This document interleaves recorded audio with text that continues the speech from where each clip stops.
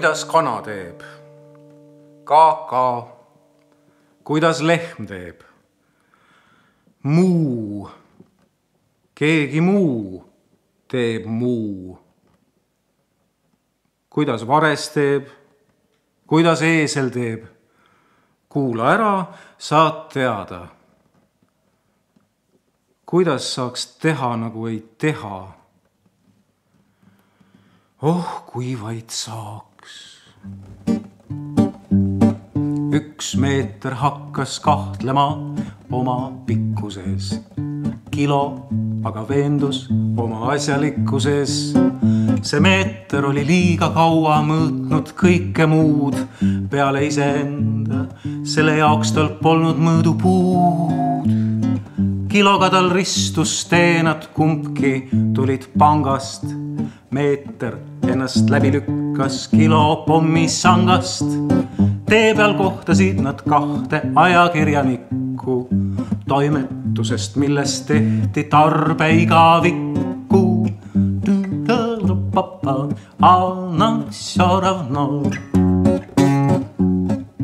üks neist võttis kinni meetri nullipoolsest otsast teine tõstis õlale otsa, millel sada.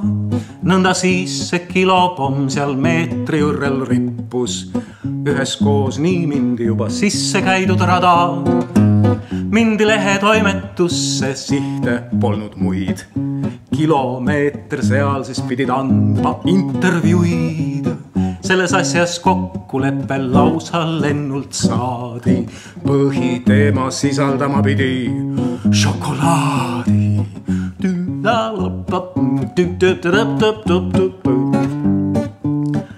Muidugi nad kõnelesid veel ka mardileivast, karamellist, elustiilist, aga aiateivast, urvaplaastrit, sõnajõudu vältis nende jutt iga silbi põhjast kostis ahastuse nutt.